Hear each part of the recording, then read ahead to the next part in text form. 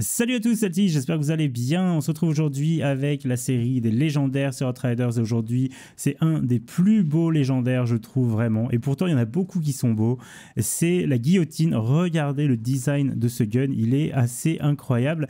Je vais vous montrer ça de plus près tout de suite. Alors, guillotine, ou on va dire la guillotine ou le guillotine pour le fusil à pompe.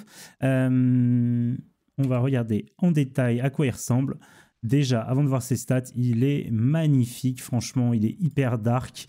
Euh, c'est donc un fusil à pompe avec euh, cette espèce de, comme une espèce de, hache à l'envers là devant. Euh, le double canon est là avec la tête de mort. Franchement, il est super beau. Il y a beaucoup de détails. Je vous montre un petit peu de plus près. Si vous voyez tous les détails qu'il y a sur les côtés, là, c'est super bien fait.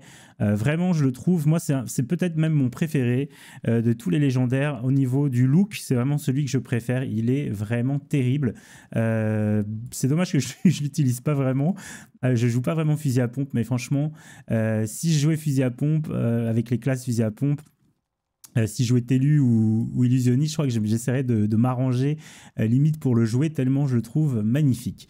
Alors on va voir les stats maintenant de ce guillotine euh, légendaire, 82 000 de puissance de feu, je l'ai au niveau 50, on est en dégâts crit avec 21,7%, bon vous pouvez le, maxer, drain de compétences et pouvoir d'altération, on a 6 euh, balles dans le chargeur avec un CPM de 68, donc le CPM est très très euh, court, hein, il faut quand même mettre du temps à chaque fois que vous tirez une balle, mais les balles font très mal, 31 077 de dégâts, il est long à recharger, 2.1 secondes, mais ça recharge pas balle par balle, vous rechargez tout le chargeur une fois que vous avez rechargé. Et on est sur un multiplicateur critique de 125%. Euh, on est évidemment en solo pour le fusil à pompe. Il y a pas mal de précision, 78. Par contre, la stabilité, 21%. Et ça s'explique parce qu'à chaque fois que vous allez tirer une balle, le pompe va, va vraiment partir en l'air d'un seul coup parce qu'en gros, il y a la puissance de la balle. Vous allez voir, ça c'est bien fait. Et la portée, c'est 10 mètres. Donc, il faut vraiment, vraiment être très, très proche euh, de vos ennemis. Alors, au niveau des modes, le mode level 3 donc de ce légendaire, c'est zone irradiante. Rechargez votre arme, provoque une petite explosion qui inflige l'altération d'état vulnérabilité et inflige 122 000 de dégâts aux ennemis situés dans un rayon de 5 mètres. Donc voilà, il va falloir vraiment coller euh, nos ennemis. On va avoir une explosion qui met vulnérabilité et qui inflige aussi des dégâts, 122 000 Bon, c'est pas énorme, mais dans un rayon de 5 mètres. Euh, et le cooldown est de 6 secondes. Après, on a champ de mine, mais bon, ça, de toute façon, vous pourrez le changer en ce que vous voudrez. Euh, les champs de mine, c'est les tirs mortels font apparaître des explosifs autour de votre cible, infligeant chacun 58 000 de dégâts dans un rayon de 5 mètres. Bon, pourquoi pas, les deux euh, vont pas mal aussi. On va voir ce que ça donne après un tir mortel. Mais en tout cas, je vais vous montrer surtout la zone irradiante et vous montrer ce que ça donne. Alors, on va tout de suite y aller au combat et je vais vous montrer direct ici. Voilà, on voit les, balles dans le chargeur.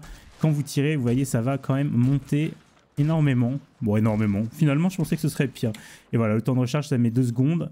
Mais euh, vous avez vu, ça recharge tout. Vous avez également vu l'espèce de, justement, le mode euh, zone irradiante. Vous avez vu, ça fait une espèce de de Dora autour de nous qui est un peu rouge.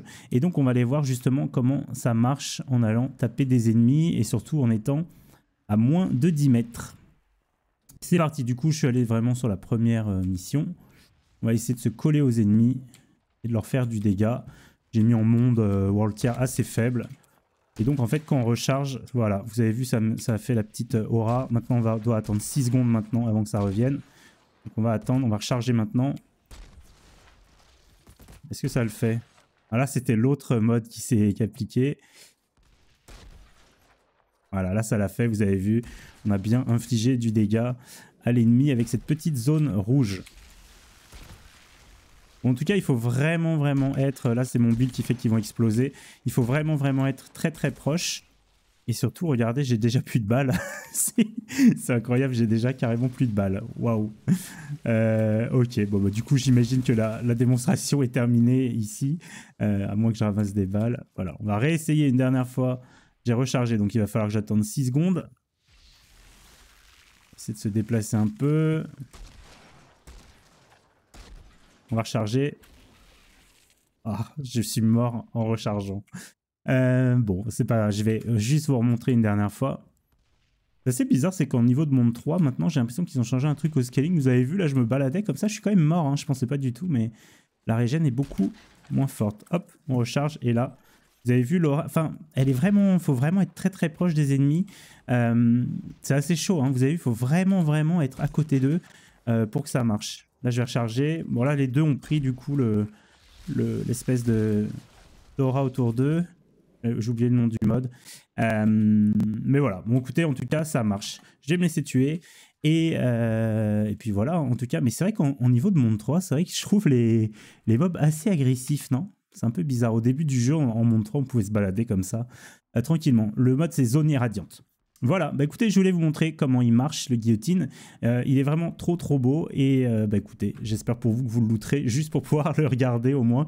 Et si vous le jouez, je ne sais pas si vous le jouez, dites-moi si vous le jouez ou si vous avez trouvé l'intérêt vraiment dans un build de cette guillotine. Sur ce, c'est Altis. je vous laisse. Ciao à tous. N'hésitez pas à vous abonner à la chaîne YouTube. Il y a plein, plein, plein euh, d'infos, de vidéos sur Outriders. N'hésitez pas à me follow aussi sur twitch.tv slash underscore. Ciao à tous